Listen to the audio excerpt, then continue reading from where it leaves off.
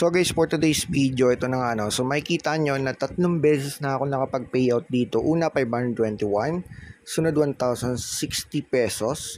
And pangatlo ngayon guys, ngayong araw yan, November 3, 1,055 pesos din. Okay? So ituturo ko sa inyo dito sa video na ito yung tips and tricks na pwede nyong gawin para talaga legit na makapag-payout kayo at uh, pumasok mismo, no? Yung payout nyo rito sa earning website na ito guys. Okay, so hindi nyo kailangan mag-download dito, mismong website lang. Wala kayong ibang uh, gagawin kundi yung itong ituturo ko sa inyo guys. Okay?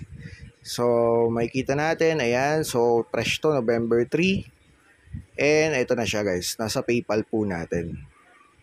So guys, pag link nyo yung link natin dyan sa description, ito ay ccc.store, no? Ayan, cc.cc.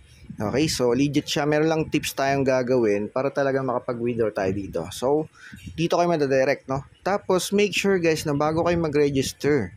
Okay, so sundin nyo to ha. Dapat meron kayong PayPal account na mismo sa email na gagamitin nyo. Okay? So, huwag kayong mag-register dito na wala pa kayong PayPal. Kailangan may PayPal po. So, kung bago yung email nyo, gawan nyo muna ng PayPal. Madali lang naman yan. Tapos, saka kayo mag-register. And also, ito pa, ha? Ito pa isang tips. So, halimbawa, naklik nyo yung link natin sa description.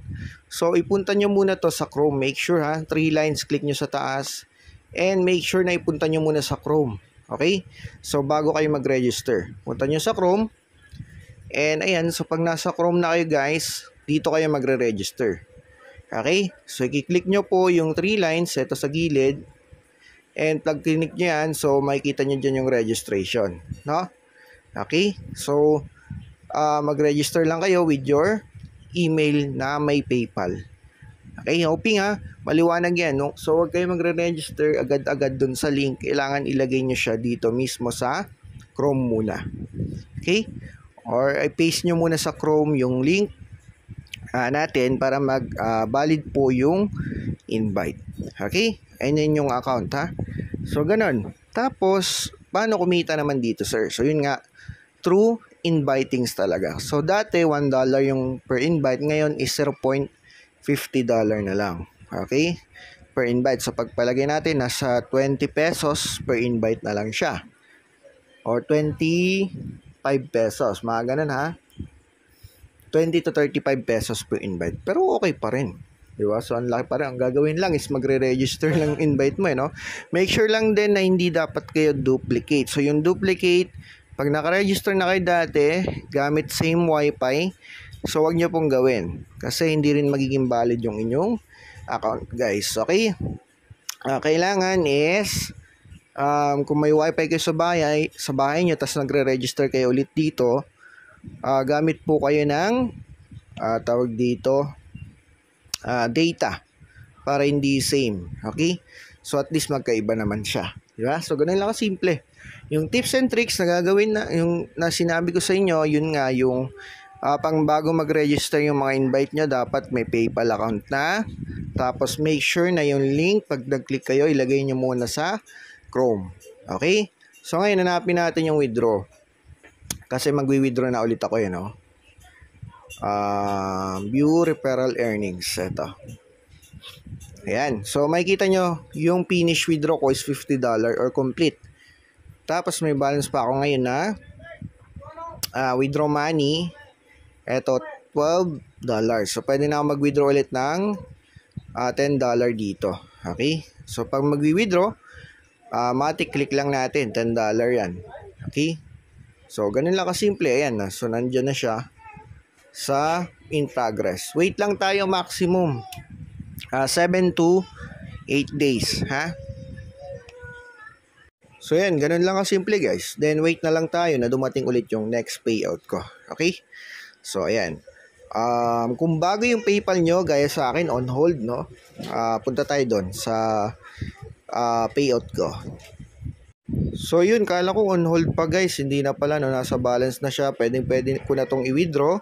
Direct po sa akin Gcash, no? Ayan. So ganun lang kasimple uh, dito kumita guys. Pag bago yung PayPal nyo, syempre on hold yan. Wait kayo ng 7 to 21 days bago yan mapunta sa mismong balance, no? Nakita nyo kanina, di ba, on hold yon yung sa screenshot ko. Ah, pakita ko lang. Eto kanina on hold pa siya, eh, no? Tapos may ginawa tayo dyan. So, turo ko rin sa inyo kung bago yung PayPal nyo. So, ang gagawin nyo, punta kayo dito sa show all and ayan. So, ayan, makita nyo issue refunded. So, nakalagay dito yung ad tracking dito sa baba. Kapag bago yung PayPal nyo, click nyo lang yon Tapos, ipiliin nyo sa may taas, no? Ng ad tracking. Hindi ko na madedemo, eh, no? Na yung proceed order. Okay? So, make sure proceed order. Tapos, wait nyo na lang yun ng 7 days maximum. Automatic yan, papasok na yan sa balance nyo. Okay? So, ayan. Pwede ko na i-withdraw to direct sa akin Gcash. Okay? So, withdraw natin. Ayan, so withdraw natin. Punta tayo sa Gcash. Tapos click natin yung profile. And nandito yung my link account. Click po natin yan. And dito tayo maglilink guys ng ating PayPal. So yung PayPal po natin na gamit, lalagay lang po natin dito yung email. Tapos link na natin. Okay, so link ko lang. Ayan, tapos click po natin yung authorize. Okay, so ganun lang, mag-link. Tapos ayan, enter lang ulit natin siya, no? And then next. So ayan guys, completed na yung linking ng ating PayPal. Okay? So X na natin to. And nakalink na siya, no? Yan. So pag blue na ganito, makikita nyo, nakalink na yan. Okay? So balik tayo dun sa dashboard. Ayan. So may balance tayo ngayon. So cash in tayo. Ito yung cash in. Yan lang. Nakapeso na ba yon? So tignan natin kung nakapeso na. So hanapin natin dito yung PayPal, no? So baka magtaka kayo eh, no? Nandito yata yan sa other banks ba yun? So, hindi, hindi. Hindi dito. Um, yan. So, sa global partners, ito PayPal. Okay? Sana. Yan, PayPal. Okay? So, yan. Tapos, withdraw na natin. Ayan. So, got it lang natin, guys. Ayun. So, 2,600. Wow! Libre. Ang lupit. Diba? Astig, no? Libre lang natin kinita yung kay cc.cc. Hindi kayo magsisisi. okay, so, yan. X natin. Minimum dito, 500, ah. Dapat may 500 kayo sa PayPal bago may pasa sa Gcash nyo. Okay? So, click proceed na natin. Confirm. Ganun lang kasimple, guys. Mag-withdraw. Ayan. So, automatic yan. Papasok na yan sa balance natin. Ayan. So, may 1 to tayo. Refresh lang natin. Ayun, 3,000. 843 pesos na. Di ba? Super legit talaga yung cc.cc and ayan nga, na-receive na natin, no? Okay, so meron pang PayPal, ayan, no? 2,600. Super legit, guys. Okay? So, ayun, ganun lang simple guys. Hoping na guess nyo, ha? And make sure, yun nga yung sinasabi ko lagi para makapag-register kayo and makapag-invite kayo. Through invite lang naman yung kitaan talaga doon kay cc.cc para kumita. Okay? So hanggang dito na lang. Maraming maraming salamat po.